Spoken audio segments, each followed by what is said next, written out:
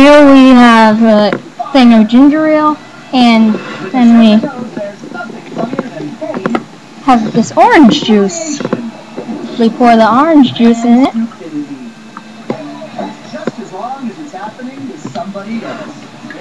And that will help your ugliness go away.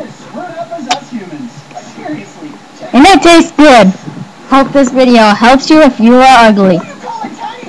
So, bye. Hope you enjoyed.